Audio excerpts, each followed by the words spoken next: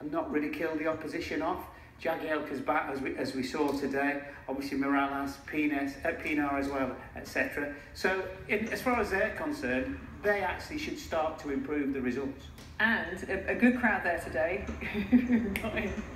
well, I think I, th I think there was a I think we said that I think it was like twenty pounds for a, or ten pounds for an adult, five pound for a kid, knowing that they've had loads of home games, so a, a good bit of business.